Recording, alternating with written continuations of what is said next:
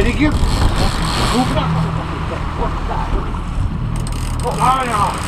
Herregud! Kobra!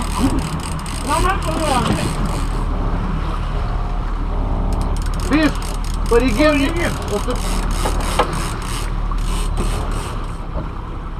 Hvis du teller til- Hvis du teller til 30 nå, så går snella.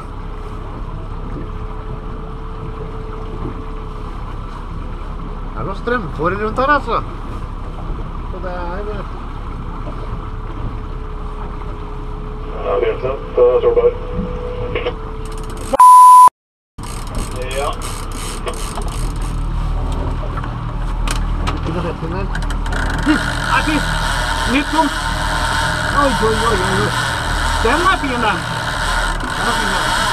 Ja, nå må du bare ta den, det. Ja, den er godkjent. Den er jo 65. Ja, ja. Men jeg, det er ut så fælt at du må ta den. Dæven, da. Han hopper ned. Hva er dette?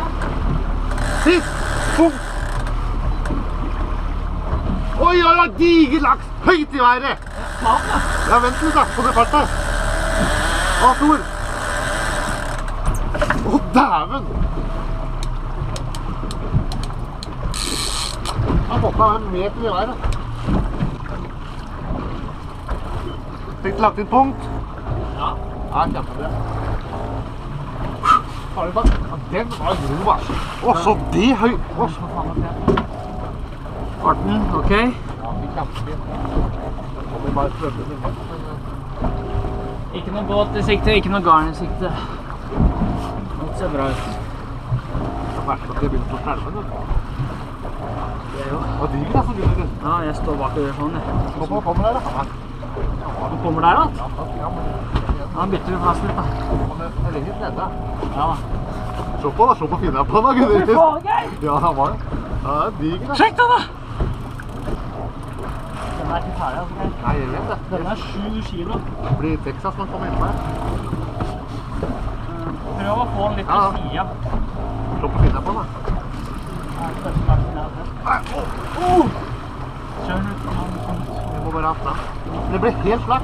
Jeg snakker 6-7 kilo, jeg. Kommer innover. Kommer. Nei, vent, vent. Se at han er rolig så han ikke gjør noe kledd. Jeg vil ha han litt eller opp. Han bare svømmer med. Han er bærefeil. Vent, vent, vent, han er nedgjort.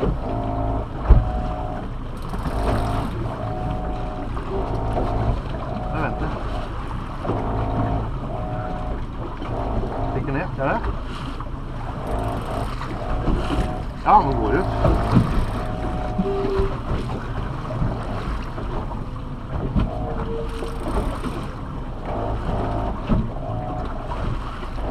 Jeg tror vi snart er den. Vent litt. Litt til. Vent litt. Nei. Vent litt. Han er bæringer. Ja, vent, jeg kan ikke dra. Han da går ut. Vent, jeg må dra litt større til. Han drar. Det var så nærme. Jeg vet det. Kunne ha tatt den. Vent litt. Han er den da, skjønner du. Der har vi perfekt oving. Ja da! Tror du det er rekord der, gitt? Tror du det er rekord der, gitt? Ja!